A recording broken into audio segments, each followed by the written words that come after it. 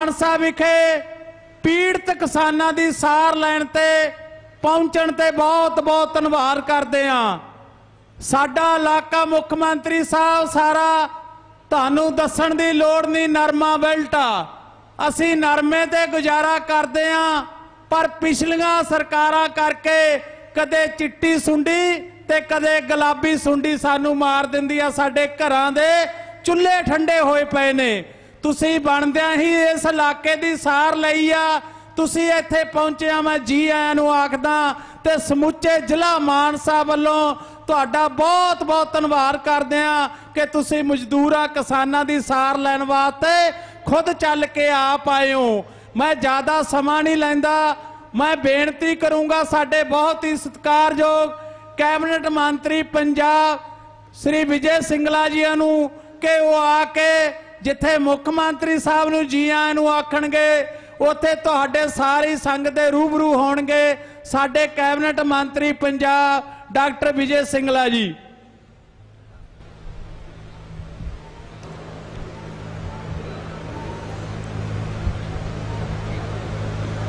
ਸਾਡੇ ਬਹੁਤ ਹੀ ਸਤਿਕਾਰਯੋਗ ਪੰਜਾਬ ਦੀ ਆਨ ਬਾਨ ਸ਼ਾਨ ਸਰਦਾਰ ਭਗਵੰਤ ਸਿੰਘ ਜੀ ਮਾਨ ਮੁੱਖ ਮੰਤਰੀ ਪੰਜਾਬ ਦੇ ਅੱਜ ਮਾਨਸਾ ਪਹੁੰਚਣ ਤੇ, ਜਿੱਥੇ ਮੈਂ ਸਮੁੱਚੇ ਮਾਨਸਾ ਜ਼ਿਲ੍ਹੇ ਦੇ ਸਮੂਹ ਵਲੰਟੀਅਰਾਂ ਵੱਲੋਂ, ਕਿਸਾਨਾਂ ਵੱਲੋਂ, ਸਾਰੇ ਇਲਾਕਾ ਨਿਵਾਸੀਆਂ ਵੱਲੋਂ ਤੁਹਾਨੂੰ ਜੀ ਆਇਆਂ ਆਖਦਾ, ਤੁਹਾਡਾ ਧੰਨਵਾਦ ਕਰਦਾ। ਉਥੇ ਮੈਂ ਦੱਸਣਾ ਚਾਹੁੰਦਾ ਕਿ ਜਿਸ ਦਿਨ ਖਟਕੜ ਕਲਾਂ ਵਿੱਚ ਸਰਦਾਰ ਭਗਵੰਤ ਸਿੰਘ ਮਾਨ ਹੋਰਾਂ ਨੇ ਸਹੁੰ ਚੁੱਕੀ ਸੀ। ਉਹਨਾਂ ਨੇ ਕਿਹਾ ਸੀ ਕਿ ਮੈਂ ਇਕੱਲੇ ਨੇ ਨਹੀਂ, ਪੰਜਾਬ ਦੇ 3 ਕਰੋੜ ਲੋਕਾਂ ਨੇ ਸਹੁੰ ਚੁੱਕੀ ਹੈ। ਉਹ 3 ਕਰੋੜ ਲੋਕ ਤੁਸੀਂ ਉਹਨਾਂ 'ਚ ਸ਼ਾਮਲ ਹੋ। ਇਹਨਾਂ ਨੇ ਕਿਹਾ ਸੀ ਕਿ ਜੇ ਹਰਾ ਪੈਨ ਚੱਲਣਾ ਚਾਹੀਦਾ ਤਾਂ ਲੋਕਾਂ ਦੀ ਭਲਾਈ ਲਈ ਚੱਲਣਾ ਚਾਹੀਦਾ ਸੋ ਸਾਡੀ ਸਭ ਤੋਂ ਪਹਿਲੀ ਕੈਬਨਿਟ ਮੀਟਿੰਗ 'ਚ ਜਦੋਂ ਮਾਨ ਸਾਹਿਬ ਆਏ, ਇਹਨਾਂ ਨੇ ਆਉਣ ਸਾਰ ਇੱਕੋ ਹੀ ਗੱਲ ਕਹੀ ਕਿ ਆਪਾਂ ਆਪਣੇ ਬੱਚਿਆਂ ਲਈ ਬੇਰੁਜ਼ਗਾਰ ਬੱਚੇ ਜਿਹੜੇ ਲੰਬੇ ਸਮੇਂ ਤੋਂ ਭਟਕਦੇ ਫਿਰ ਰਹੇ ਨੇ, ਉਹਨਾਂ ਲਈ ਸਭ ਤੋਂ ਪਹਿਲਾ ਕਦਮ ਕਰ ਰਿਹਾ ਹਾਂ ਕਿ 25000 ਸਰਕਾਰੀ ਨੌਕਰੀਆਂ 25000 ਸਰਕਾਰੀ ਨੌਕਰੀਆਂ ਦੀ ਘੋਸ਼ਣਾ ਕੀਤੀ ਤੇ 1 ਮਹੀਨੇ ਦੇ ਅੰਦਰ ਅੰਦਰ ਉਹਨਾਂ ਦੀਆਂ ਫਾਰਮੈਲਿਟੀਜ਼ ਐਡਵਰਟਾਈਜ਼ਮੈਂਟ ਹੋ ਕੇ ਇੱਕ 25000 ਨੌਕਰੀਆਂ ਅਸੀਂ ਸਾਡੇ ਨੌਜਵਾਨ ਪੜ੍ਹੇ ਲਿਖੇ ਬੱਚਿਆਂ ਨੂੰ ਦੇਵਾਂਗੇ। ਇਸ ਤੋਂ ਬਿਨਾ ਤੁਹਾਨੂੰ ਸਾਰਿਆਂ ਨੂੰ ਪਤਾ ਹੈ ਜੋ ਇਤਿਹਾਸਕ ਫੈਸਲੇ ਸਾਡੀ ਪਾਰਟੀ ਨੇ, ਸਾਡੀ ਸਰਕਾਰ ਨੇ ਸਰਦਾਰ ਭਗਵੰਤ ਸਿੰਘ ਮਾਨ ਹੋਰਾਂ ਦੀ ਰਹਿਨਮਾਈ ਚ ਇਹਨਾਂ ਨੂੰ ਤੁਹਾਨੂੰ ਸਾਰਿਆਂ ਨੂੰ ਪਤਾ ਹੈ। ਇੱਕ ਗਰਾਊਂਡ ਲੈਵਲ ਤੇ ਜੁੜੇ ਹੋਏ ਉਹਨਾਂ ਨੂੰ ਪਤਾ ਹੈ ਕਿ ਪਿੰਡਾਂ ਦੀਆਂ ਸਮੱਸਿਆਵਾਂ ਕੀ ਨੇ, ਉਹਨਾਂ ਨੂੰ ਪਤਾ ਹੈ ਸਾਡੇ ਮਜ਼ਦੂਰਾਂ ਦੀਆਂ, ਸਾਡੇ ਕਿਸਾਨਾਂ ਦੀਆਂ, ਸਾਡੇ ਛੋਟੇ ਵਪਾਰੀਆਂ ਦੀਆਂ ਸਮੱਸਿਆਵਾਂ ਕੀ ਨੇ। ਸੋ ਬਿਨਾ ਕੋਈ ਸਮਾਂ ਗਵਾਏ ਸਾਡੇ ਮਾਨਯੋਗ ਅਰਵਿੰਦ ਕੇਜਰੀਵਾਲ ਜੀ ਨੇ ਸਾਡੀ ਪਹਿਲੀ ਜਿਹੜੀ ਮੀਟਿੰਗ 'ਚ ਰੂਬਰੂ ਹੁੰਦੇ ਹੋਏ ਕਿਹਾ ਸੀ ਕਿ ਸਾਨੂੰ 24 24 ਘੰਟੇ ਨਹੀਂ 30 30 ਘੰਟੇ ਕੰਮ ਕਰਨਾ ਪਊਗਾ। ਸੋ ਮੈਂ ਸਾਰੇ ਸਾਡੇ ਵਰਕਰ, ਵਲੰਟੀਅਰ ਸਾਹਿਬਾਨ, ਅੱਜ ਮਾਨਯੋਗ ਭਗਵੰਤ ਸਿੰਘ ਮਾਨ ਹੋ ਜਾਣ ਦੀ ਹਾਜ਼ਰੀ 'ਚ ਆਏ ਨੇ। ਸਾਰਿਆਂ ਨੂੰ ਬੇਨਤੀ ਕਰਦਾ ਕਿ ਲੜਾਈ ਆਪਾਂ ਜਿੱਤੀ ਹੈ, ਹਜੇ ਲੜਾਈ ਸ਼ੁਰੂ ਹੋਈ ਹੈ। ਇਹਨਾਂ ਭ੍ਰਿਸ਼ਟਾਚਾਰੀਆਂ ਖਿਲਾਫ, ਇਹਨਾਂ ਭਾਈ ਭਤੀਜਾ ਖਿਲਾਫ, ਬਾਦ ਖਿਲਾਫ, ਇਹ ਨਸ਼ਿਆਂ ਖਿਲਾਫ ਆਪਾਂ ਲੜਾਈ ਸ਼ੁਰੂ ਕੀਤੀ ਹੈ। ਔਰ ਜਿਵੇਂ ਤੁਸੀਂ ਪਹਿਲਾਂ ਇਹ ਵੱਡੀ ਲੜਾਈ ਜਿੱਤੀ ਹੈ, ਮੈਨੂੰ ਆਸ ਹੈ ਕਿ ਇਸੇ ਤਰ੍ਹਾਂ ਹੀ ਆਪਾਂ ਅੱਗੇ ਲੜਾਈ ਜਿੱਤਾਂਗੇ ਔਰ ਤੁਸੀਂ ਪੂਰਨ ਸਹਿਯੋਗ ਦਿਓਗੇ। ਔਰ ਮੈਂ ਤੁਹਾਨੂੰ ਦੱਸਣਾ ਚਾਹੁੰਦਾ, ਜਿਵੇਂ ਮਾਨ ਸਾਹਿਬ ਨੇ ਪਹਿਲਾਂ ਕੱਲ ਐਲਾਨ ਕੀਤਾ, ਅੱਜ ਤੱਕ ਕਦੇ ਹੋਇਆ ਨਹੀਂ ਕਿ ਰਾਜਨੀਤਿਕ ਲੋਕਾਂ ਦੇ ਭੱਤੇ ਘੱਟ ਕੀਤੇ ਜਾਣ। ਪਹਿਲੀ ਵਾਰ ਹੋਇਆ ਕਿ ਮਾਨ ਸਾਹਿਬ ਨੇ ਇੱਕ ਵੱਡਾ ਫੈਸਲਾ ਲਿਆ ਕਿ ਸਾਡੇ ਐਮਐਲਏਜ਼ ਨੂੰ ਸਿਰਫ ਇੱਕ ਹੀ ਪੈਨਸ਼ਨ ਮਿਲੇਗੀ। ਸਿਰਫ ਇੱਕ ਹੀ ਪੈਨਸ਼ਨ ਮਿਲੇ ਸੀ ਕਿ ਗੱਲਾਂ ਬਹੁਤ ਦੇਰ ਦੀਆਂ ਕਰਦੇ ਸੀ, ਪਰ ਪ੍ਰੈਕਟੀਕਲੀ ਕਰਨਾ ਬਹੁਤ ਔਖਾ ਹੁੰਦਾ ਹੈ। ਬੜਾ ਦਬਾਅ ਬਾਹਰਲੇ ਲੋਕਾਂ ਦਾ, ਉਹਨਾਂ ਰਾਜਨੀਤਿਕ ਲੋਕਾਂ ਦਾ, ਜਿਹੜੇ ਤੁਹਾਨੂੰ ਪਤਾ 7-7 8-8 ਪੈਨਸ਼ਨਾਂ ਖਾਈ ਜਾਂਦੇ ਆ। ਪਰ ਮਾਨ ਸਾਹਿਬ ਨੇ ਇਹ ਫੈਸਲਾ ਲਿਆ ਔਰ ਸਾਨੂੰ ਮਾਣ ਹੈ ਕਿ ਅਸੀਂ ਇਹਨਾਂ ਦੀ ਪਾਰਟੀ 'ਚ ਖੜੇ ਆ ਔਰ ਆਉਣ ਸਾਰ ਜੋ ਅੱਜ ਸਾਡੇ ਮਾਨਸਾ ਜ਼ਿਲ੍ਹੇ 'ਚ ਸਭ ਤੋਂ ਪਹਿਲਾਂ ਆਏ ਨੇ, ਕਿਉਂਕਿ ਮਾਨਸਾ ਨਾਲ ਇਹਨਾਂ ਦਾ ਬੜਾ ਲਗਾਅ ਹੈ ਸਾਡਾ ਸਤੌਜ ਪਿੰਡ ਤੇ ਮਾਨਸਾ ਦੇ ਸਾਡੀਆਂ ਵੱਟਾਂ ਸਾਂਝੀਆਂ, ਜਿਸ ਤਰ੍ਹਾਂ ਕਹਿੰਦੇ ਸਾਡਾ ਪਾਣੀ ਸਾਂਝਾ ਸਾਡੇ ਨੱਕੇ ਸਾਂਝੇ ਨੇ। ਔਰ ਮਾਨ ਸਾਹਿਬ, ਸਭ ਤੋਂ ਪਹਿਲਾਂ ਇਹਨਾਂ ਨੇ ਕਿਹਾ ਕਿ ਇੱਕ ਸਾਦਾ ਜਿਹਾ ਫੰਕਸ਼ਨ ਕਰਨਾ ਹੈ ਇਸੇ ਕਰਕੇ ਅਸੀਂ ਕੋਈ ਉਸ ਨੂੰ ਰੈ- ਰੈਲੀ ਦਾ ਰੂਪ ਨਹੀਂ ਕੀਤਾ। ਸਿਰਫ ਉਹਨਾਂ ਕਿਸਾਨ ਵੀਰਾਂ ਨੂੰ ਬੁਲਾਇਆ ਜਿਨ੍ਹਾਂ ਦੇ ਮੁਆਵਜ਼ੇ ਕਾਫੀ ਲੰਬੇ ਸਮੇਂ ਤੋਂ ਇਹਨਾਂ ਪਿਛਲੀ ਸਰਕਾਰ ਨੇ ਰੋਕ ਸਕੇ ਸੀ। ਆਉਣ ਸਾਰ ਐਲਾਨ ਕੀਤਾ ਮਾਨ ਸਾਹਿਬ ਹੋਰਾਂ ਨੇ ਕਿ ਸਭ ਤੋਂ ਪਹਿਲਾਂ ਜੇ ਮੁਆਵਜ਼ੇ ਦੇਣੇ ਆ ਉਹਨਾਂ ਕਿਸਾਨਾਂ ਨੂੰ, ਉਹਨਾਂ ਮਜ਼ਦੂਰਾਂ ਨੂੰ ਦੇਣੇ ਆ ਸੋ ਅੱਜ ਮਾਨ ਸਾਹਿਬ ਆਏ ਨੇ, ਆਪਣੇ ਹੱਥੀ ਕੁਝ ਅਸੀਂ ਸਾਡੇ ਕਿਸਾਨ ਭਰਾ ਬੈਠੇ ਨੇ, ਉਹਨਾਂ ਦੇ ਚੈੱਕ ਵੰਡਾਂਗੇ। ਮਾਨ ਸਾਹਿਬ, ਜਿਹੜੇ ਬਾਕੀ ਚੈੱਕ ਹੈ ਆਰਟੀਆਈ ਜੀਐਸ ਰਾਹੀਂ ਡਾਇਰੈਕਟ ਵੀ ਅਸੀਂ ਉਹਨਾਂ ਦੇ ਟ੍ਰਾਂਸਫਰ ਕਰ ਦਾਂਗੇ, ਐਡਮਿਨਿਸਟ੍ਰੇਸ਼ਨ ਨਾਲ ਗੱਲ ਹੋਈ ਹੈ। ਸੋ ਜੋ ਇਤਿਹਾਸਕ ਤੇ ਇਨਕਲਾਬੀ ਕੰਮ ਤੁਸੀਂ ਕਰ ਰਹੇ ਹੋ, ਮੈਂ ਤੁਹਾਨੂੰ ਵਿਸ਼ਵਾਸ ਦਿਵਾਉਣਾ ਕਿ ਸਾਡੇ ਪਾਰਟੀ ਦੇ ਵਰਕਰ, ਵਲੰਟੀਅਰ ਬੜੇ ਖੁਸ਼ ਹੈ, ਸਾਰਾ ਪੰਜਾਬ ਖੁਸ਼ ਹੈ, ਸਾਰੇ ਦਫ਼ਤਰਾਂ 'ਚ ਅੱਜ ਇਮਾਨਦਾਰੀ ਨਾਲ ਕੰਮ ਹੋਣ ਲੱਗ ਗਿਆ, ਸਾਰੇ ਸਮੇਂ ਸਿਰ ਸਾਡੇ ਜਿਹੜੇ ਮੁਲਾਜ਼ਮ ਹੈ, ਉਹ ਮਿਹਨਤ ਕਰਨਾ ਚਾਹੁੰਦੇ, ਕੰਮ ਕਰਨਾ ਚਾਹੁੰਦੇ ਹੈ ਕਿਉਂਕਿ ਹੁਣ ਉਹਨਾਂ ਨੂੰ ਪਤਾ ਹੈ ਕਿ ਨਾ ਕਿਸੇ ਮੰਤਰੀ ਨੇ, ਨਾ ਕਿਸੇ ਅਫਸਰ ਨੇ ਕੋਈ ਹਿੱਸਾ ਲੈਣਾ ਸੋ ਬੜੇ ਇਮਾਨਦਾਰੀ ਨਾਲ ਤੁਹਾਡੀ ਰਹਿਨਮਾਈ 'ਚ ਕੰਮ ਹੋ ਰਿਹਾ ਮੈਂ ਤੁਹਾਡਾ ਫਿਰ ਅੱਜ ਮਾਨਸਾ ਦੇ ਇਸ ਧਰਤੀ ਤੇ ਪਹੁੰਚਣ ਤੇ ਕਿਸਾਨਾਂ ਨੂੰ ਚੈੱਕ ਵੰਡਣ ਤੇ ਆਉਣ ਤੇ ਇੱਕ ਵਾਰ ਫਿਰ ਸਮੁੱਚੇ ਮਾਨਸਾ ਵਾਸੀਆਂ ਵੱਲੋਂ, ਸਾਡੇ ਕਿਸਾਨਾਂ ਵੱਲੋਂ ਤੁਹਾਨੂੰ ਜੀ ਆਇਆਂ ਆਖਦਾ, ਧੰਨਵਾਦ ਜੀ। ਇਨਕਲਾਬ! ਇਨਕਲਾਬ! ਸੋ ਬਹੁਤ ਹੀ ਧੰਨਵਾਦ ਸਾਡੇ ਕੈਬਨਿਟ ਮੰਤਰੀ ਪੰਜਾਬ ਸਰਕਾਰ, ਡਾਕਟਰ ਵਿਜੇ ਸਿੰਗਲਾ ਜੀ ਦਾ। ਮਾਨ ਸਾਹਿਬ, ਸਾਡੇ ਇਲਾਕੇ ਦੇ ਵਿੱਚ 136000 ਏਕੜ ਜਿਹੜੀ ਸੀਗੀ ਗੁਲਾਬੀ ਸੁੰਡੀ ਨਰਮਾ ਖਾ ਗਈ 136000 ਏਕੜ ਜਾਨੀ ਸਾਰਾ ਸਾਡਾ ਇਹ ਇਲਾਕਾ ਹੀ ਗੁਲਾਬੀ ਸੁੰਡੀ ਖਾ ਗਈ। ਜਿਨ੍ਹਾਂ ਤੋਂ ਫੀਸਾਂ ਭਰਨੀਆਂ ਸੀ, ਅਸੀਂ ਇਲਾਜ ਕਰਾਉਣੇ ਸੀ, ਵਿਆਹ ਕਰਵਾਉਣੇ ਸੀ, ਸਾਡੇ ਸੁਪਨੇ ਸਾਰਿਆਂ ਦੇ, ਕਿਸਾਨਾਂ ਦੇ, ਮਜ਼ਦੂਰਾਂ ਦੇ ਟੁੱਟ ਗਏ। ਸੋ ਤੁਸੀਂ ਅੱਜ ਆਏ ਹੋ, ਧੰਨਵਾਦ।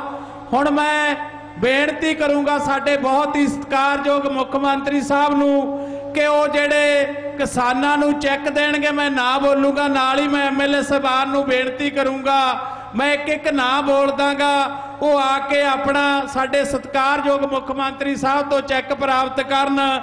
ਸਰਦਾਰ ਜਸਵਿੰਦਰ ਸਿੰਘ ਜੀ, ਪੁੱਤਰ ਚੂੜ ਸਿੰਘ ਜੀ, ਪਿੰਡ ਅੱਕਾ ਵਾਲੀ ਉਹ ਆਪਣਾ ਚੈੱਕ 71187 ਰੁਪਈਆ ਦਾ ਮਾਨ ਸਾਹਿਬ ਤੋਂ ਲੈ ਰਹੇ ਨੇ। ਸਾਡੇ ਬਹੁਤ ਹੀ ਸਤਿਕਾਰਯੋਗ ਮੁੱਖ ਮੰਤਰੀ ਸਾਹਿਬ ਜਗ- ਜਸਵਿੰਦਰ ਸਿੰਘ ਜੀ ਨੂੰ ਚੈੱਕ ਭੇਟ ਕੀਤਾ। ਹੁਣ ਮੈਂ ਦੂਜੀ ਬੇਨਤੀ ਕਰਦਾ ਜੋਗਿੰਦਰ ਸਿੰਘ ਜੀ ਪੁੱਤਰ ਹਰਦਿਆਲ ਸਿੰਘ ਜੀ, ਪਿੰਡ ਅੱਕਾਂ ਵਾਲੀ 71825 ਰੁਪਈਆ ਦਾ ਚੈੱਕ ਮਾਨ ਸਾਹਿਬ ਉਹਨਾਂ ਨੂੰ ਦੇ ਰਹੇ ਨੇ। ਅਗਲੇ ਸਾਡੇ ਗੁਰਦੇਵ ਸਿੰਘ ਜੀ, ਪੁੱਤਰ ਮੁਖਤਿਆਰ ਸਿੰਘ ਜੀ, ਪਿੰਡ ਅੱਕਾਂ ਵਾਲੀ ਉਹ ਵੀ 73418 ਰੁਪਈਆ ਦਾ ਚੈੱਕ ਮਾਨਯੋਗ ਮੁੱਖ ਮੰਤਰੀ ਸਾਹਿਬ ਤੋਂ ਲੈ ਰਹੇ ਨੇ। ਅੱਗੇ ਸਵਰਨਜੀਤ ਸਿੰਘ, ਪੁੱਤਰ ਬਲਕਾਰ ਸਿੰਘ, ਪਿੰਡ ਰਾਏਪੁਰ। ਉਹ ਵੀ ਆਪਣਾ ਚੈੱਕ ਮਾਨਯੋਗ ਮੁੱਖ ਮੰਤਰੀ ਸਾਹਿਬ ਤੋਂ ਪ੍ਰਾਪਤ ਕਰਨ ਸਵਰਨਜੀਤ ਸਿੰਘ ਜੀ। ਸਰਦਾਰ ਬਲਵਿੰਦਰ ਸਿੰਘ ਜੀ, ਪੁੱਤਰ ਛੋਟਾ ਸਿੰਘ ਜੀ, ਪਿੰਡ ਰਾਏਪੁਰ, ਉਹ ਵੀ ਆਪਣਾ ਚੈੱਕ ਮਾਨਯੋਗ ਮੁੱਖ ਮੰਤਰੀ ਸਾਹਿਬ ਤੋਂ ਪ੍ਰਾਪਤ ਕਰਨ।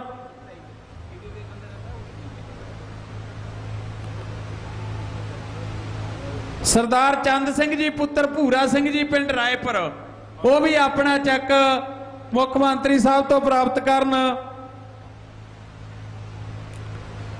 ਸਰਦਾਰ ਮੇਜਰ ਸਿੰਘ ਜੀ, ਪੁੱਤਰ ਤੇਜਾ ਸਿੰਘ ਪਿੰਡ ਭੰਮੇ ਕਲਾਂ। ਉਹ ਵੀ ਆਪਣਾ ਚੈੱਕ ਮੁੱਖ ਮੰਤਰੀ ਸਾਹਿਬ ਤੋਂ ਪ੍ਰਾਪਤ ਕਰਨ। ਸਰਦਾਰ ਜਸਵਿੰਦਰ ਸਿੰਘ, ਪੁੱਤਰ ਕਾਵਲ ਸਿੰਘ ਪਿੰਡ ਭੰਮੇ ਕਲਾਂ। ਜਸਵਿੰਦਰ ਸਿੰਘ, ਉਹ ਵੀ ਆਪਣਾ ਚੈੱਕ ਮਾਨਯੋਗ ਮੁੱਖ ਮੰਤਰੀ ਸਾਹਿਬ ਤੋਂ ਪ੍ਰਾਪਤ ਕਰਨ। ਅਮਨਦੀਪ ਸਿੰਘ ਪੁੱਤਰ ਹਰਜਿੰਦਰ ਸਿੰਘ, ਪਿੰਡ ਭੋਪਾਲ। ਉਹ ਵੀ ਆਪਣਾ ਚੈੱਕ ਮਾਨਯੋਗ ਮੁੱਖ ਮੰਤਰੀ ਸਾਹਿਬ ਤੇ ਐਮਐਲਏ ਸਾਹਿਬਾਨ ਤੋਂ ਪ੍ਰਾਪਤ ਕਰਨ। ਦਰਸ਼ਨ ਸਿੰਘ ਜੀ, ਪੁੱਤਰ ਛੋਟਾ ਸਿੰਘ ਜੀ। ਉਹ ਵੀ ਆਪਣਾ ਚੈੱਕ ਪ੍ਰਾਪਤ ਕਰ ਰਹੇ ਨੇ ਮੁੱਖ ਮੰਤਰੀ ਸਾਹਿਬ ਤੋਂ। ਜਸਵਿੰਦਰ ਕੌਰ, ਪਤਨੀ ਜਗਸੀਰ ਸਿੰਘ। ਜਸਵਿੰਦਰ ਕੌਰ, ਪਤਨੀ ਜਗਸੀਰ ਸਿੰਘ, ਪਿੰਡ ਭੋਪਾਲ। ਗੁਰਵਿੰਦਰ ਸਿੰਘ ਪੁੱਤਰ ਜਗਦੇਵ ਸਿੰਘ ਮਾਨਸਾ ਤੋਂ।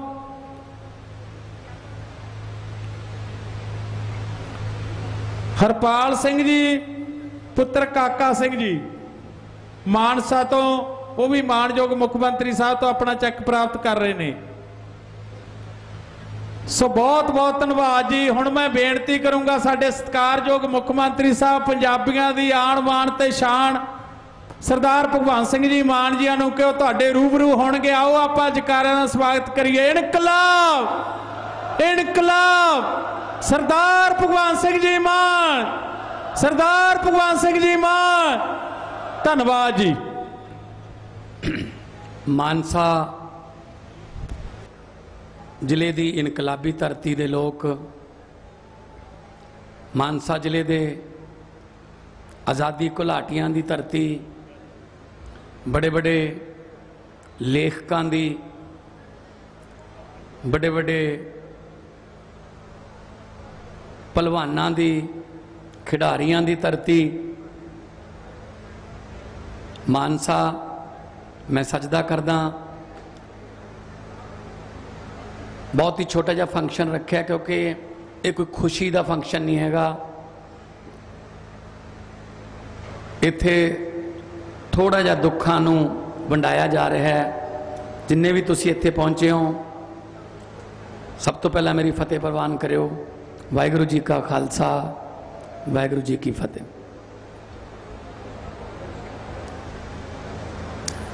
ਮੈਂ ਅੱਜ ਇੱਥੇ ਕੋਈ ਸ਼ਕਤੀ ਪ੍ਰਦਰਸ਼ਨ ਕਰਨ ਨਹੀਂ ਆਇਆ। ਮੈਂ ਕਿਸੇ ਦੀ ਨਿੰਦਿਆ ਚੁਗਲੀ ਕਰਨ ਨਹੀਂ ਆਇਆ। ਸਿਆਣੇ ਕਹਿੰਦੇ ਆ ਖੁਸ਼ੀਆਂ ਵੰਡਣ ਨਾਲ ਦੁੱਗਣੀਆਂ ਹੋ ਜਾਂਦੀਆਂ ਨੇ, ਦੁੱਖ ਵੰਡਣ ਨਾਲ ਅੱਧੇ ਰਹਿ ਜਾਂਦੇ ਨੇ। ਅੱਜ ਉਹਨਾਂ ਕਿਸਾਨ ਵੀਰਾਂ ਲਈ ਜਿਨ੍ਹਾਂ ਨੂੰ ਆਪਣੀਆਂ ਪੁੱਤਾਂ ਵਾਂਗੂ ਪਾਲੀਆਂ ਹੋਈਆਂ ਫਸਲਾਂ ਘਰੇ ਲਿਆਉਣ ਦਾ ਜਾਂ ਮੰਡੀ ਚ ਲਿਜਾਣ ਦਾ ਮੌਕਾ ਨਹੀਂ ਮਿਲਿਆ, ਅੱਜ ਉਹਨਾਂ ਨੂੰ ਮੁਆਵਜ਼ੇ ਦੇ ਰੂਪ ਦੇ ਵਿੱਚ ਜਿਹੜੀ ਰਕਮ ਜਾਰੀ ਕੀਤੀ ਹੈ, ਉਹ ਵੰਡਣ ਆਏ ਆ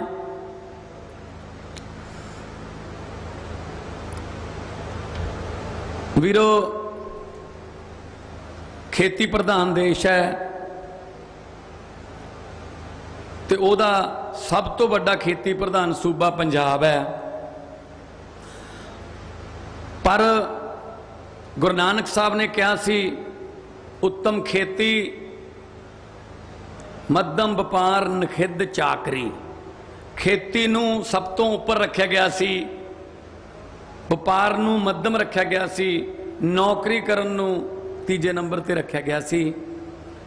ਪਰ ਇਹ ਸਿਸਟਮ ਨੇ ਸਮਿਆਂ ਦੀਆਂ ਸਰਕਾਰਾਂ ਨੇ ਬਿਲਕੁਲ ਉਲਟਾ ਕਰਤਾ। ਅੱਜ ਅਸੀਂ ਚਾਕਰੀ ਕਰਨ ਵਾਸਤੇ ਆਪਣੀ ਜ਼ਮੀਨ ਵੇਚਣ ਨੂੰ ਤਿਆਰ ਹਾਂ ਜਿਹੜੀ ਚੀਜ਼ ਪਹਿਲੇ ਨੰਬਰ ਤੇ ਸੀ, ਉਹਨੂੰ ਵੇਚ ਕੇ ਤੀਜੇ ਨੰਬਰ ਵਾਲੀ ਜਿਹੜੀ ਗੁਰੂ ਸਾਹਿਬ ਨੇ ਕਹੀ ਸੀ, ਉਹ ਲੈਣ ਨੂੰ ਤਿਆਰ ਹਾਂ ਇਹ ਕਿਉਂ ਹੋਇਆ? ਕਿਉਂਕਿ ਇਹਨਾਂ ਨੇ ਧਿਆਨ ਹੀ ਨਹੀਂ ਦਿੱਤਾ। ਇਹਨਾਂ ਨੇ ਖੇਤੀ ਨੂੰ ਲਾਹੇਵੰਦ ਧੰਦਾ ਬਣਾਉਣ ਲਈ ਕੋਈ ਕਦਮ ਨਹੀਂ ਚੁੱਕਿਆ। ਸਿਰਫ ਆਪਦੇ ਹੀ ਘਰ ਭਰੇ। ਕਈ ਨਹਿਰਾਂ, ਕਈ ਸੂਏ ਇਹਨਾਂ ਦੇ ਖੇਤਾਂ 'ਚ ਜਾ ਕੇ ਮੁੱਕ ਜਾਂਦੇ ਆ। ਸੋ ਇਹਨਾਂ ਲਈ ਤਾਂ ਖੇਤੀ ਬਹੁਤ ਲਾਹੇਵੰਦ ਧੰਦਾ ਹੈ।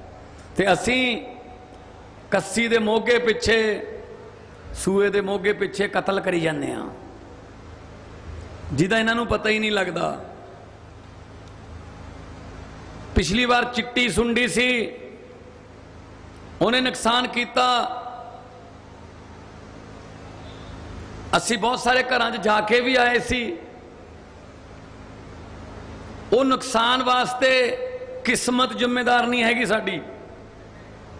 ਜਿਨ੍ਹਾਂ ਨੇ ਨਕਲੀ ਬੀਜ ਤੇ ਨਕਲੀ ਸਪਰੇਹਾਂ ਦੀਆਂ ਡੀਲਾਂ ਕੀਤੀਆਂ, ਉਹ ਜ਼ਿੰਮੇਦਾਰ ਨੇ। ਕਿੰਨਿਆਂ ਘਰਾਂ ਦੇ ਵਿੱਚ ਚਿੱਟੀ ਸੁੰਡੀ ਨੇ, ਚਿੱਟੇ ਸੱਥਰ ਵਿਛਾਏ। ਚਿੱਟੀ ਸੁੰਡੀ ਕਰਕੇ ਕਿੰਨੀਆਂ ਮਾਵਾਂ ਭੈਣਾਂ ਦੀਆਂ ਚਿੱਟੀਆਂ ਚੁੰਨੀਆਂ ਹੋ ਗਈਆਂ ਰੰਗਲੀਆਂ ਤੋਂ। ਉਹਦੇ ਵਾਸਤੇ ਕੌਣ ਜ਼ਿੰਮੇਵਾਰ ਹੈ? ਜਿਨ੍ਹਾਂ ਨੇ ਸਾਨੂੰ ਨਕਲੀ ਬੀ ਤੇ ਨਕਲੀ ਸਪਰੇਆਂ ਦਿੱਤੀਆਂ। ਬਿਲਕੁਲ ਇਸੇ ਤਰ੍ਹਾਂ ਇੱਥੇ ਹੈ। ਅਸੀਂ ਤਾਂ ਆਪਣੇ ਵੱਲੋਂ ਮਿਹਨਤ 'ਚ ਕੋਈ ਕਮੀ ਨਹੀਂ ਛੱਡਦੇ। ਸੱਪਾਂ ਦੀਆਂ ਸਿਰੀਆਂ ਮਿੱਧਦੇ ਆ ਪਰ ਪਤਾ ਲੱਗਦਾ ਕਿ ਸਾਡੀ ਫਸਲ ਦੇ ਤਾਂ ਸੌਦੇ ਪਹਿਲਾਂ ਹੀ ਹੋ ਗਏ ਉਹ ਤਾਂ ਲੈ ਗਏ ਕਰੋੜਾਂ ਰੁਪਏ। ਉਹਨਾਂ ਦੀ ਵੀ ਜਾਂਚ ਕਰਾਂਗੇ ਕਿ ਉਹ ਕਿੰਨੇ ਕੁ ਕਰੋੜਾਂ ਰੁਪਏ ਚਿੱਟੀਆਂ ਸੁੰਡੀਆਂ ਜਾਂ ਫਿਰ ਪਿੰਕ ਸੁੰਡੀਆਂ ਦੇ ਨਾਂ ਤੇ ਖਾਦੇ ਗਏ ਨੇ, ਜਾਂਚ ਹੋਊਗੀ। ਜਿਹੜੇ ਪੈਸੇ ਆਪਣੀਆਂ ਜੇਬਾਂ ਚੋਂ ਗਏ ਨੇ, ਉਹਨਾਂ ਨੂੰ ਵਾਪਸ ਤੁਹਾਡੀਆਂ ਜੇਬਾਂ ਤੱਕ ਲੈ ਕੇ ਆਵਾਂਗੇ। ਇਨਕਲਾਬ ਵੀਰੋ ਮੈਂ ਖੁਦ ਖੇਤੀ ਕਰਦਾ ਹਰ ਇੱਕ ਕੰਮ ਕੀਤਾ ਖੇਤੀ ਦਾ ਮੈਨੂੰ ਕੱਲੀ ਕੱਲੀ ਚੀਜ਼ ਦਾ ਪਤਾ ਹੈ।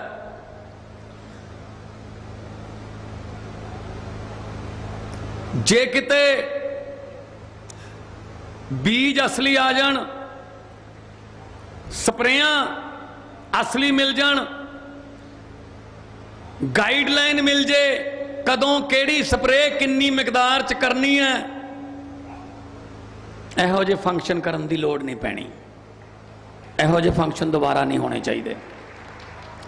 ਹਾਂ, ਕੋਈ ਕੁਦਰਤ ਵੱਲੋਂ ਮਾਰ ਪੈ ਗਈ, ਕੋਈ ਬੇਮੌਸਮੇ ਗੜੇ ਪੈ ਗਏ, ਕਈ ਵਾਰੀ ਬੱਟ ਨੂੰ ਬੱਟ ਛੱਡ ਜਾਂਦਾ ਕਹਿੰਦੇ, ਭਾਦੋਂ ਦਾ ਮੀਂਹ ਸੌਣ ਦਾ ਮੀਂਹ, ਉਹਦਾ ਅਲੱਗ ਗੱਲ ਹੈ ਕੁਦਰਤ ਤੇ ਕੋਈ ਆਪਣਾ ਜ਼ੋਰ ਨਹੀਂ ਚੱਲਦਾ। ਪਰ ਇਹ ਕੁਦਰਤ ਦੀ ਮਾਰ ਨਹੀਂ ਹੈਗੀ। ਇਹ ਸਿਆਸੀ ਮਾਰ ਪਈ ਹੋਈ ਹੈ। ਔਰ ਉਤੋਂ ਮੁਆਵਜ਼ੇ ਦਿੰਦੇ ਸੀ। ਲੰਬਾ ਸਮਾਂ ਗਰਦੌਰੀਆਂ ਚੱਲਦੀਆਂ ਸੀ। ਮੁਆਵਜ਼ੇ ਮਿਲਦੇ ਸੀ। ਚੈੱਕ ਆ ਗਿਆ ਜੀ। ਕਿੰਨੇ ਦਾ? ਜ਼ਖਮਾਂ ਤੇ ਲੂਣ ਛਿੜਕਣ ਵਾਲੀ ਗੱਲ। 52 ਰੁਪਈਆਂ ਦਾ। 82 ਰੁਪਈਆਂ ਦਾ। 130 ਰੁਪਈਆਂ ਦਾ। ਐਦਾਂ ਦੇ ਚੈੱਕ ਵੀ ਆਏ ਨੇ। ਮਜ਼ਾਕ ਕਰਦੇ ਸੀ ਸਾਡੇ ਨਾਲ। ਪਰ ਕੋਈ ਗੱਲ ਨਹੀਂ। ਅੰਨ ਦਾਤਾ ਹੈ। ਤੇ ਦਾਤਾ ਜਿਹੜਾ ਉਹ ਦਾਤਾ ਵੰਡਣ ਵਾਲਾ ਹੁੰਦਾ ਹੈ। ਤੇ ਇਹਨਾਂ ਨੇ ਦਾਤੇ ਨੂੰ ਭਿਖਾਰੀ ਬਣਾ ਕੇ ਰੱਖਿਆ ਹੋਇਆ ਹੈ। ਥੋੜਾ ਜਿਹਾ ਸਮਾਂ ਹੋਰ ਦੇ ਦਿਓ। ਖੇਤੀ ਨੂੰ ਘਾਟੇ ਦਾ ਸੌਦਾ ਨਹੀਂ ਰਹਿਣ ਦੇਵਾਂਗੇ, ਖੇਤੀ ਨੂੰ ਮਜਬੂਰੀ ਦਾ ਧੰਦਾ ਨਹੀਂ ਰਹਿਣ ਦੇਵਾਂਗੇ, ਖੇਤੀ ਕਰਨ ਤੇ ਮਾਣ ਮਹਿਸੂਸ ਹੋਊਗਾ। ਇਹੋ ਜਿਹੀਆਂ ਟੈਕਨੀਕਾਂ ਲੈ ਕੇ ਆ ਰਹੇ ਹਾਂ। ਯੂਨੀਵਰਸਿਟੀਆਂ ਨਾਲ ਗੱਲ ਕਰ ਰਹੇ ਹਾਂ। ਬਾਹਰਲੀਆਂ ਯੂਨੀਵਰਸਿਟੀਆਂ ਨਾਲ ਗੱਲ ਕਰ ਰਹੇ ਹਾਂ। ਪ੍ਰੋਡਕਸ਼ਨ ਕਾਸਟ ਘਟਾਈਏ ਪ੍ਰੋਡਕਸ਼ਨ ਵਧਾਈਏ, ਆਪਾਂ ਨੂੰ ਕੋਈ ਦੱਸਣ ਹੀ ਨਹੀਂ ਆਉਂਦਾ। ਜੇ ਕੋਈ ਸੁੰਡੀ ਲੱਗ ਜੇ, ਕੋਈ ਦੱਸਣ ਆਉਂਦਾ ਸਰਕਾਰ ਵੱਲੋਂ ਕਿ ਆਹ ਸਪਰੇਅ ਕਰਨੀ ਹੈ ਤੇ ਨਹੀਂ ਆਉਂਦਾ ਕੋਈ। ਆਪਾਂ ਤਾਂ ਇੱਕ ਦੂਜੇ ਨੂੰ ਪੁੱਛਦੇ ਆ ਕਿ ਤੁਹਾਡੇ ਵੀ ਸੁੰਡੀ ਲੱਗ ਗਈ। ਤੂੰ ਕੱਲ ਸਪਰੇਅ ਕਰੀ ਜਾਂਦਾ ਸੀ, ਕਿਹੜੀ ਹੈ? ਉਹ ਕਹਿੰਦਾ, ਪਤਾ ਉਹਨੂੰ ਵੀ ਨਹੀਂ ਹੁੰਦਾ। ਕਹਿੰਦਾ, ਪਤਾ ਨਹੀਂ ਕਿਹੜੀ ਹੈ, ਲਾਲ ਜੇ ਢੱਕਣ ਵਾਲੀ ਹੈ। ਸਾਰਾ ਪਿੰਡ ਲਾਲ ਜੇ ਢੱਕਣ ਵਾਲੀ। ਕੋਈ ਨਹੀਂ ਦੱਸਣ ਆਉਂਦਾ ਸਾਨੂੰ। ਕੀ ਪਤਾ ਉਹ ਸੁੰਡੀ ਵਾਸਤੇ ਉਹ ਲਾਲ ਜੇ ਢੱਕਣ ਵਾਲੀ ਜਿਹੜੀ ਹੈ, ਉਹ ਜਿਹੜੀ ਹੈ, ਹੈਗੀ ਹੈ ਉਹਦੇ ਵਾਸਤੇ ਅਸਰਦਾਰ ਜਾਂ ਨਾ? ਹੁਣ ਹੋਊਗਾ ਇਹ। ਮੈਂ ਐਗਰੀਕਲਚਰ ਯੂਨੀਵਰਸਿਟੀ ਦੇ ਕੁਝ ਪ੍ਰੋਫੈਸਰਾਂ ਨੂੰ ਬੁਲਾਇਆ। ਕਿ ਕੀ ਹੋ ਸਕਦਾ ਹੈ? ਉਹ ਕਹਿੰਦੇ ਜੀ, ਕੀ ਕਰੀਏ? ਸਾਡਾ ਤਾਂ ਆਪਦਾ ਨਰਮਾ ਮਰ ਜਾਂਦਾ ਹੈ। ਅਸੀਂ ਨਵੇਂ ਬੀਆਂ ਦੀ ਖੋਜ ਕਿੱਥੋਂ ਕਰੀਏ? ਬਜਟ ਹੀ ਹੈ ਨਹੀਂ। ਸੋ ਵੀਰੋ ਬਜਟ ਰੱਖਿਆ ਜਾਊਗਾ। ਧਰਤੀ ਦਾ ਕੋਈ ਕਸੂਰ ਨਹੀਂ। ਬਹੁਤ ਉਪਜਾਊ ਧਰਤੀ ਹੈ। ਬਾਜਰਾ ਬੀਜ ਲਓ, ਮੱਕੀ ਬੀਜ ਲਓ, ਸੂਰਜਮੁਖੀ ਦਾਲਾਂ। ਜੋ ਮਰਜ਼ੀ ਬੀਜ ਲਓ, ਉੱਗ ਜੂਗਾ। ਪਰ ਡਰ ਇਸ ਗੱਲ ਦਾ ਲੈ- ਰਹਿੰਦਾ ਵੇਚਾਂਗੇ ਕਿੱਥੇ? ਧਰਤੀ ਦਾ ਪਾਣੀ ਥੱਲੇ ਚਲਾ ਗਿਆ। 1 ਕਿਲੋ ਚੌਲ 1 ਕਿਲੋ ਚੌਲ ਪੈਦਾ ਕਰਨ ਵਾਸਤੇ 3800 ਲੀਟਰ ਪਾਣੀ ਲੱਗਦਾ ਹੈ ਜੀ। 3800 ਲੀਟਰ ਪਾਣੀ 1 ਕਿਲੋ ਚੌਲ ਵਾਸਤੇ ਜਦ ਕਿ ਚੌਲ ਸਾਡੀ ਖੁਰਾਕ ਦਾ ਹਿੱਸਾ ਨਹੀਂ ਹੈਗਾ। ਤੇ ਉਹ ਐਫਸੀਆਈ ਮੁੱਕਰਦੀ ਜਾਂਦੀ ਹੈ ਹੁਣ ਕਿ ਅਸੀਂ ਖਰੀਦਣੇ ਨਹੀਂ ਤੁਹਾਡੇ ਕੋਲ ਝੋਨਾ। ਕੋਈ ਗੱਲ ਨਹੀਂ, ਉਹਦੀਆਂ ਵੀ ਪਲੈਨਿੰਗਾਂ ਬਣਾ ਰਹੇ ਹਾਂ। ਆਉਣ ਵਾਲੇ ਦਿਨਾਂ 'ਚ ਤੁਹਾਨੂੰ ਪਤਾ ਲੱਗਦਾ ਰਹੂਗਾ। ਆ ਹਜੇ ਕੱਲ ਹੀ ਇੱਕ ਫੈਸਲਾ ਕੀਤਾ ਹੈ। ਉਸੇ ਨਾਲ ਹੀ ਸਾਰੇ ਮੁਲਕ 'ਚ ਡਿਬੇਟ ਚੱਲੀ ਜਾਂਦੀ ਹੈ। ਅੱਠ ਅੱਠ ਪੈਨਸ਼ਨਾਂ, ਨੌ ਨੌ ਪੈਨਸ਼ਨਾਂ, ਟੱਬਰ ਨੂੰ ਪੈਨਸ਼ਨ, ਇਲਾਜ ਮੁਫਤ, ਰੇਲ ਗੱਡੀ ਮੁਫਤ, ਜਹਾਜ਼ਾਂ ਦੇ ਸਫ਼ਰ, ਕੀ ਗੱਲ ਵੀ ਅਸੀਂ ਕਾਰਡ ਪਾ ਕੇ ਬੁਲਾਇਆ ਸੀ ਵੀ ਐਮਐਲਏ ਬਣੋ, ਆਪ ਬਣੇ ਸੀ। ਨਾ ਬਣੋ ਕੋਈ ਹੋਰ ਕੰਮ ਕਰ ਲਓ। ਸੋ ਵੀਰੋ, ਇਹ ਜਿਹੜੀਆਂ ਖਜ਼ਾਨੇ ਨੂੰ ਸੰਗਲੀਆਂ ਮਾਰੀਆਂ ਹੋਈਆਂ ਇਹਨਾਂ ਨੇ ਖੋਲਣੀਆਂ ਨੇ, ਤੇ ਫਿਰ ਖਜ਼ਾਨਾ ਤੁਹਾਡੇ ਵਾਸਤੇ ਖੋਲਣਾ ਹੈ ਪਬਲਿਕ ਵਾਸਤੇ। ਰੱਬ ਨਾ ਕਰੇ ਕੋਈ ਐਦਾਂ ਦਾ ਫਸਲਾਂ ਦਾ ਨੁਕਸਾਨ ਹੋਵੇ, ਅਗਲੀ ਵਾਰ ਤੋਂ ਗੁਰਦੌਰੀਆਂ ਬਾਅਦ ਚ ਹੁੰਦੀਆਂ ਰਹਿਣਗੀਆਂ, ਬਾਕੀ ਸਭ ਬਾਅਦ ਚ ਹੁੰਦਾ ਰਹੂਗਾ। ਜਿਵੇਂ ਦਿੱਲੀ ਦੇ ਵਿੱਚ ਹੁੰਦਾ ਅਰਵਿੰਦ ਕੇਜਰੀਵਾਲ ਦੀ ਸਰਕਾਰ ਕਰਦੀ ਹੈ, ਪਹਿਲਾਂ 20000 ਏਕੜ ਦਾ ਉਹ ਪੈਸੇ ਦੇ ਦਿੰਦੇ ਆ ਪਹਿਲਾਂ ਲਓ, ਗੁਰਦੌਰੀਆਂ ਬਾਅਦ ਚ ਹੁੰਦੀਆਂ ਰਹਿਣਗੀਆਂ, ਫਿਰ ਦੇਖਾਂਗੇ ਆਪਣੀ ਕਬੀਲਦਾਰੀ ਚਲਾਓ। ਇੱਥੇ ਵੀ ਕਰਾਂਗੇ ਇਸ ਤਰ੍ਹਾਂ ਦੇ ਸਿਸਟਮ ਇਸੇ ਕਰਕੇ ਸਾਡੇ ਧੀਆਂ ਪੁੱਤ ਭੱਜ ਰਹੇ ਆ ਬਾਹਰ ਨੂੰ, ਕਿ ਉਰੇ ਕੁਝ ਨਹੀਂ ਹੈਗਾ। ਪਵਨ ਗੁਰੂ, ਪਾਣੀ ਪਿਤਾ, ਮਾਤਾ ਧਰਤ ਮਹੱਤ। ਗੁਰੂ ਸਾਹਿਬ ਨੇ ਹਵਾ ਨੂੰ ਗੁਰੂ ਦਾ ਦਰਜਾ, ਪਾਣੀ ਨੂੰ ਪਿਤਾ ਦਾ ਦਰਜਾ, ਧਰਤੀ ਨੂੰ ਮਾਤਾ ਦਾ ਦਰਜਾ। ਤੁਸੀਂ ਦੱਸ ਦਿਓ, ਆਪਾਂ ਤਿੰਨੋਂ ਦਰਜੇ ਕਾਇਮ ਰੱਖ ਲੇ ਹਵਾ ਆਪਣੀ ਜ਼ਹਿਰੀਲੀ ਹੋ ਗਈ, ਪਾਣੀ ਆਪਣਾ ਕੈਮੀਕਲ ਵਿੱਚ ਪੈ ਗਏ। ਕੈਮੀਕਲ ਪੈ ਗਏ। ਪਾਣੀ ਆਪਣਾ ਜ਼ਹਿਰੀਲਾ ਹੋ ਗਿਆ। ਸਪਰੇਆਂ ਕਰ ਕਰਕੇ ਧਰਤੀ ਵੀ ਆਪਾਂ ਜ਼ਹਿਰੀਲੀ ਕਰ ਲਈ। ਸੋ ਵੀਰੋ, ਇਹ ਕੁਝ ਪਿੰਡਾਂ ਦੇ ਕੁਝ ਕਿਸਾਨ ਨੇ, ਜਿੰਨਾ ਵੀ ਬਾਕੀ ਦਾ 101 ਕਰੋੜ ਜਾਰੀ ਹੋਇਆ ਜਿੰਨੇ ਵੀ ਹੋਰ ਪਿੰਡ ਨੇ, ਕਿਉਂਕਿ ਬੈਲਟ ਤਾਂ ਜਿਹੜੀ ਜਾਂਦੀ ਆ ਅੱਗੇ ਤੱਕ, ਤੁਹਾਡੇ ਖਾਤਿਆਂ 'ਚ ਆ ਜਾਊਗਾ ਪੈਸਾ। ਜਾਂ ਤੁਸੀਂ ਸਾਡੇ ਕਿਸੇ ਐਮਐਲਏ ਨਾਲ ਸੰਪਰਕ ਕਰ ਲਓ। ਜੇ ਕੋਈ ਦਿੱਕਤ ਆਉਂਦੀ ਹੈ, ਖਾਤਾ ਜਾਂ ਕਈ ਵਾਰੀ ਖਾਤਾ ਪੁਰਾਣਾ ਹੁੰਦਾ ਨਹੀਂ ਚੱਲਦਾ ਜਾਂ ਕੋਈ ਹੋਰ। ਜੇ ਕੋਈ ਤੁਹਾਥੋਂ ਉਹ ਚੈੱਕ ਦੇਣ ਦਾ ਕਮਿਸ਼ਨ ਮੰਗਦਾ ਹੈ, ਤਾਂ ਫਿਰ ਤੁਹਾਡੇ ਕੋਲ ਇੱਕ ਫੋਨ ਨੰਬਰ ਹੈ। ਉਹ ਵੀ ਯਾਦ ਰੱਖ ਲਿਓ। ਪੰਜਾਬ ਨੂੰ ਦੁਬਾਰੇ ਪੰਜਾਬ ਬਣਾਉਣ ਦਾ ਜਿਹੜਾ ਤੁਸੀਂ ਸਾਨੂੰ ਫਤਵਾ ਦਿੱਤਾ ਹੈ ਉਹਦੇ ਲਈ ਤੁਹਾਡਾ ਬਹੁਤ ਬਹੁਤ ਧੰਨਵਾਦ ਹੈ। ਮਤਲਬ ਐਂ ਲੱਗਦਾ ਸੀਗਾ ਵੀ ਜਿੰਨੀ ਵਾਰੀ ਵੀ ਮੈਂ ਮਾਨਸਾ ਚਾਹੁੰਦਾ ਸੀ, ਐਂ ਲੱਗਦਾ ਸੀ ਕਿ ਇਸ ਤੋਂ ਬਾਅਦ ਤਾਂ ਇਕੱਠ ਕੀ ਹੋਊਗਾ ਹੁਣ। ਪਰ ਅਗਲੀ ਵਾਰ ਤੁਸੀਂ ਆਪਦਾ ਹੀ ਰਿਕਾਰਡ ਆਪ ਤੋੜ ਲੈਂਦੇ ਸੀ।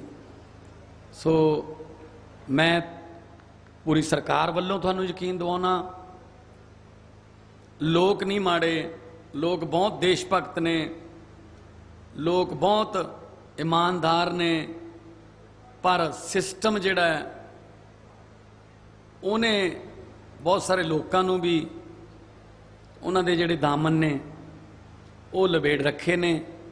ਸਿਸਟਮ ਨੂੰ ਠੀਕ ਕਰਨ 'ਚ ਥੋੜਾ ਟਾਈਮ ਲੱਗ ਜਾਊਗਾ। ਇਹ ਨਾ ਸੋਚ ਲਿਓ ਕਿ ਅੱਜ ਹੀ ਅੰਬ ਦੀ ਗੁਠਲੀ ਦੱਬੀ ਤੇ ਸ਼ਾਮ ਨੂੰ ਗੁਠਲੀ ਪੱਟ ਕੇ ਦੇਖੀਏ ਵੀ ਅੰਬ ਤਾਂ ਲੱਗੇ ਹੀ ਨਹੀਂ।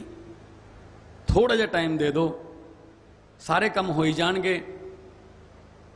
ਤੇ ਮੀਡੀਆ ਦਾ ਮੈਂ ਬਹੁਤ ਧੰਨਵਾਦ ਕਰਦਾ ਜਿਹੜੇ ਸਾਡੀਆਂ ਗੱਲਾਂ ਨੂੰ, ਸਾਡੇ ਐਲਾਨਾਂ ਨੂੰ, ਤੁਹਾਡੀਆਂ ਸ਼ਿਕਾਇਤਾਂ ਨੂੰ ਸਾਡੇ ਤੱਕ ਪਹੁੰਚਾਉਂਦੇ ਨੇ। ਪਰ ਕਈ ਵਾਰੀ ਨਾ ਪਹਿਲਾਂ ਖਬਰ ਦਿਖਾਉਣ ਦੇ ਚੱਕਰਾਂ 'ਚ ਕਈ ਵਾਰੀ ਬਿਨਾਂ ਤੱਥਾਂ ਤੋਂ ਹੀ ਖਬਰਾਂ ਆ ਜਾਂਦੀਆਂ ਨੇ, ਉਹਨਾਂ ਤੋਂ ਥੋੜਾ ਜਿਹਾ ਬਚਾਅ ਰੱਖਿਆ ਕਰੋ। ਜਿਵੇਂ ਕੱਲ ਕਹੀ ਜਾਂਦੇ ਸੀ, ਕਹਿੰਦੇ ਦਿੱਲੀ ਦੇ ਐਮਐਲਏ ਦੀ ਤਨਖਾਹ 2.5 ਲੱਖ ਹੈ। ਉਹ ਕੋਈ ਲੀਡਰ ਕਹੀ ਜਾਂਦਾ ਸੀ, ਕਾਂਗਰਸੀ। ਕੋਈ ਪਹਿਲਾਂ ਉੱਥੇ ਘੱਟ ਕਰੋ। ਮੈਂ ਦੱਸਣਾ ਚਾਹੁੰਦਾ, ਦਿੱਲੀ ਦੇ ਐਮਐਲਏ ਦੀ ਤਨਖਾਹ ਜਿਹੜੀ ਬੇਸਿਕ ਪੇ ਹੈ 12000 ਹੈ, ਭੱਤੇ ਪਾ ਕੇ 54000 ਮਿਲਦਾ ਹੈ ਤੇ ਜਿਹੜੇ ਐਮਐਲਏ ਨਹੀਂ ਐਮਐਲਏ ਰਹੇ, ਉਹਨਾਂ ਦੀ ਪੈਨਸ਼ਨ 7200 ਰੁਪਏ ਹੈ। ਇਹ ਨੋਟ ਕਰ ਲਿਓ ਜੀ। ਸੋ ਵੀਰੋ, ਆਪਾਂ ਪੰਜਾਬ ਦੀ ਲੜਾਈ ਲੜ ਰਹੇ ਹਾਂ, ਪੰਜਾਬ ਬਹੁਤ ਵਾਰੀ ਡਿੱਗਿਆ ਪਰ ਪੰਜਾਬ ਬਹੁਤ ਵਾਰੀ ਉੱਠਿਆ ਵੀ ਹੈ।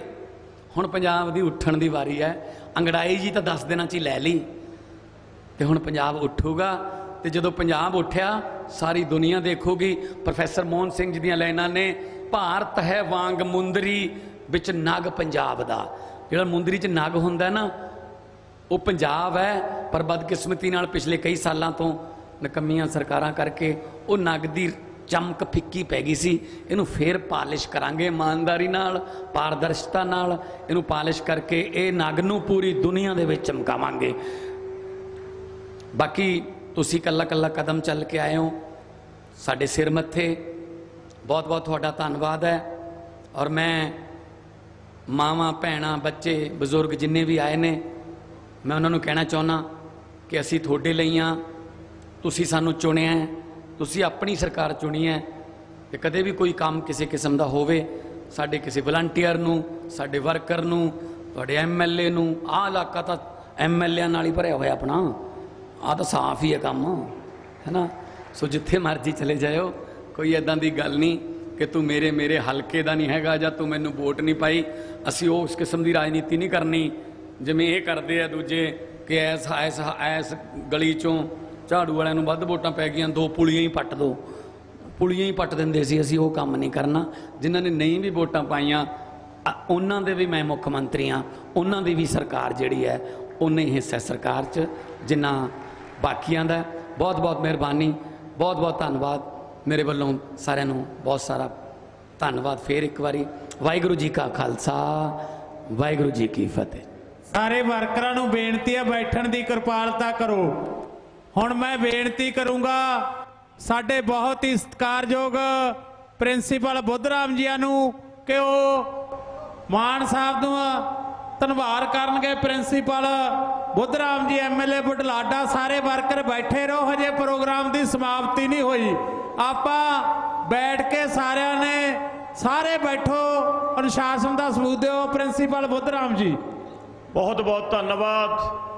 ਸਰਦਾਰ ਭਗਵੰਤ ਸਿੰਘ ਜੀ ਮਾਨ ਮਾਨਯੋਗ ਮੁੱਖ ਮੰਤਰੀ ਪੰਜਾਬ, ਸਾਡੇ cabinet minister Shri Vijay Singla ji MLA Sardulgarh Gurpreet Banawali ji MLA mess, Maur Sukhvir Singh ji Maisarkhana MLA ਪੁੱਚੋ master Jagsir Singh ji, ਸਾਡੇ ਜ਼ਿਲ੍ਹੇ ਦੇ ਪ੍ਰਧਾਨ ਅੱਕਾਂ ਵਾਲੀ ਸਾਹਿਬ ਤੇ ਹੋਰ ਸਾਰੇ ਵਰਕਰ ਸਾਰੇ ਜਿੰਨੇ ਆਏ ਨੇ, ਤੁਹਾਡਾ ਬਹੁਤ ਬਹੁਤ ਧੰਨਵਾਦ।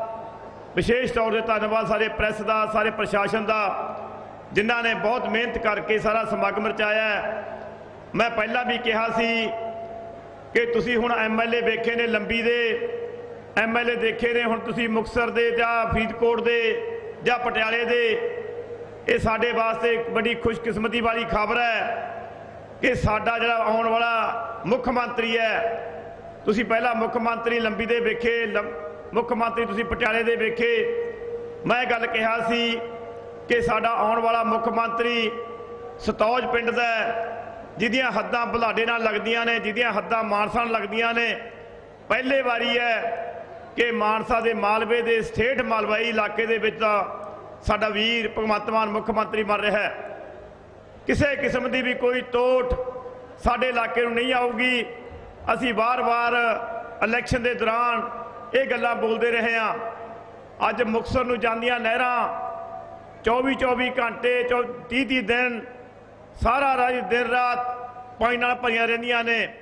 ਮਾਨ ਸਾਹਿਬ, ਸਾਡੇ ਇਲਾਕੇ ਦੇ ਜਿਹੜੇ ਮਾਈਨਰ ਨੇ, ਸਾਡੇ ਇਲਾਕੇ ਦੇ ਸੂਏ ਨੇ, ਇਹ ਮਹੀਨੇ ਦੇ ਵਿੱਚੋਂ 15 ਦਿਨ ਸੁੱਕੇ ਰਹਿੰਦੇ ਨੇ। ਮੈਂ ਤੁਹਾਨੂੰ ਵਿਸ਼ੇਸ਼ ਤੌਰ ਤੇ ਅੱਜ ਦਿਨ ਦੇ ਵਿੱਚ ਬੇਨਤੀ ਕਰਦਾ ਕਿ ਜੇ ਸਾਡਾ ਅਲਾਉਂਸ ਹੈ ਪਾਣੀ ਦਾ, ਉਹ 3.05 ਹੈ। ਕਿਰਪਾ ਕਰਕੇ ਵਿਧਾਨ ਸਭਾ ਦਾ ਦੇ ਵਿੱਚ ਮਤਾ ਲਿਆ ਕੇ ਜੇਕਰ ਸਾਡੇ ਮਲਵਈ ਦੇ ਇਸ ਇਲਾਕੇ ਦਾ ਜਿਹੜਾ ਅਲਾਉਂਸ ਹੈ, ਉਹ 4.5 ਕਰ ਦਿਓ, ਤਾਂ ਸਾਨੂੰ ਟਿਊਬਵੈਲਾਂ ਦੀ ਵੀ ਘੱਟ ਲੋੜ ਪਊਗੀ ਚਲਾਉਣ ਦੀ ਤੇ ਸਾਡਾ ਜਿਹੜਾ ਪਾਣੀ ਪੀਣ ਵਾਲਾ ਪਾਣੀ ਹੈ, ਜਿਹੜੇ ਵਾਟਰ ਵਰਕਸ ਨੂੰ ਜਾਂਦਾ ਪਾਣੀ ਉਹ ਵੀ ਸਾਡਾ ਪੂਰਾ ਮਿਲੂਗਾ ਤੇ ਨਹਿਰਾਂ ਦੇ ਵਿੱਚ ਵੀ ਪੂਰਾ ਪਾਣੀ ਆਊਗਾ। ਕਿਰਪਾ ਕਰਕੇ ਸਾਡੇ ਇਸ ਇਲਾਕੇ ਦੀ ਜਿਹੜਾ ਬੰਜਰ ਹੋ ਚੁੱਕਿਆ ਹੈ, ਜਿਹਦਾ ਪੀਣ ਵਾਲਾ ਪਾਣੀ ਵੀ ਮਾੜਾ ਹੈ, ਜਿਹਦਾ ਥੇਠਲਾ ਪਾਣੀ ਵੀ ਮਾੜਾ ਹੈ, ਜੇਕਰ ਸਾਡੇ ਇਲਾਕੇ ਦਾ ਅਨਾਉਂਸ ਵਧਾ ਦਿਓ, ਤਾਂ ਤੁਹਾਡਾ ਬਹੁਤ ਬਹੁਤ ਧੰਨਵਾਦ ਹੈ। ਸੋ ਅੱਜ ਤੁਹਾਡੇ ਸਾਰੇ ਪੀੜਤ ਪੀੜਤ ਕਿਸਾਨਾਂ ਦੀ ਜਿਹੜੀ ਦੁੱਖ ਦੀ ਰਗ ਹੈ, ਉਹਨੂੰ ਮਹਿਸੂਸ ਕੀਤਾ ਭਗਵੰਤ ਮਾਨ ਜੀ ਨੇ ਔਰ ਅੱਜ ਪਹਿਲਾ ਸਮਾਗਮ ਜੋ ਜਨਤਕ ਸਮਾਗਮ ਹੈ ਉਹ ਤੁਹਾਡੇ ਵਾਸਤੇ ਕਰਕੇ ਸਿੱਧ ਕਰਤਾ ਕਿ ਆਮ ਆਦਮੀ ਪਾਰਟੀ ਸਰਕਾਰ ਤੁਹਾਡੀ ਸਰਕਾਰ ਹੈ। ਮੈਂ ਜ਼ਿਆਦਾ ਸਮਾਂ ਨਾ ਲੈਂਦਾ ਹੋਇਆ, ਇੱਕ ਵਾਰ ਫੇਰ ਸਾਡੇ ਸਤਿਕਾਰਯੋਗ ਮਾਣਯੋਗ ਪੰਜਾਬ ਦੀ ਆਨ ਸ਼ਾਨ ਤੇ ਮਾਨ ਸਾਡੇ ਭਗਵੰਤ ਮਾਨ ਜੀ ਦਾ ਬਹੁਤ ਬਹੁਤ ਧੰਨਵਾਦ ਕਰਦਾ ਕਿ ਤੁਸੀਂ ਸਾਡੇ ਵੀਰਾਂ ਦੇ ਨਾਲ ਇਹ ਗੱਲ ਕਰਕੇ ਸਾਡੇ ਇਲਾਕੇ ਦਾ ਇੱਕ ਸ਼ਾਨ ਰੱਖੀ ਹੈ। ਬਹੁਤ ਬਹੁਤ ਧੰਨਵਾਦ। ਵਾਹਿਗੁਰੂ ਖਾਲਸਾ, ਵਾਹਿਗੁਰੂ ਜੀ ਕੀ ਫਤਿਹ।